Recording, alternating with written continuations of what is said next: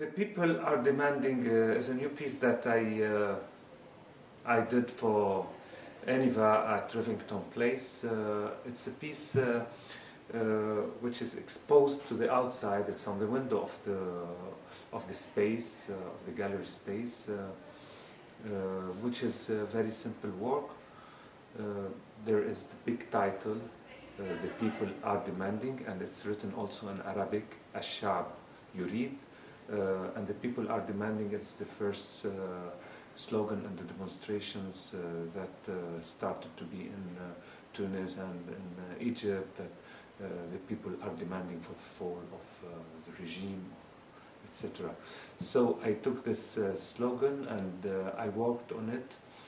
Uh, so on, on this vitrine, on this window, you can find this slogan in a very big font and then underneath uh, there is uh, verbs, like plenty of verbs, starting from the people are demanding to change, to revolt, to uh, overthrow, etc., to go to, to very uh, ordinary verbs or very the verbs that uh, related to the human needs like the people uh, are demanding to eat, to drink, to sleep or to shit or to fuck, whatever.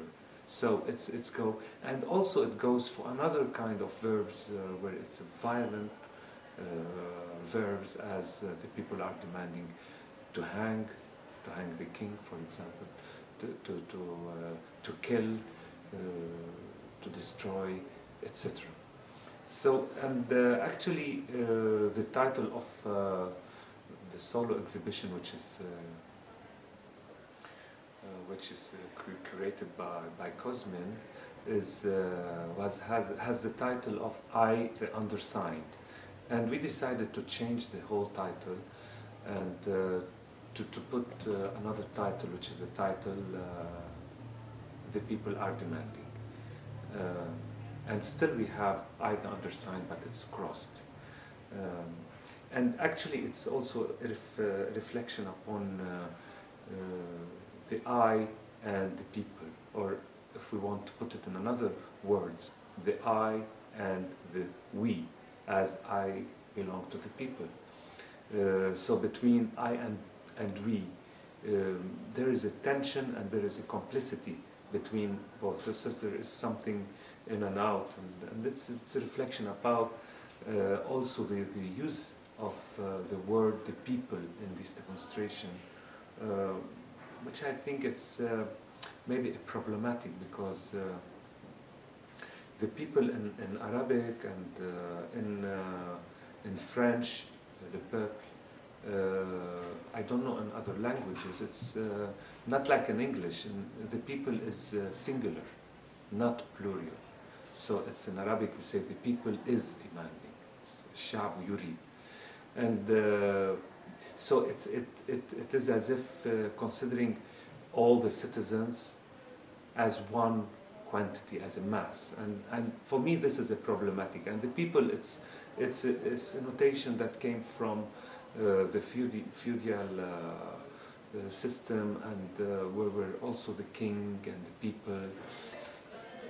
I think that my work, and I, I like this, and I work in, in this manner where it's always unfinished work. So in this sense, I, the undersigned, uh, is, is a work that always is subjected to changes.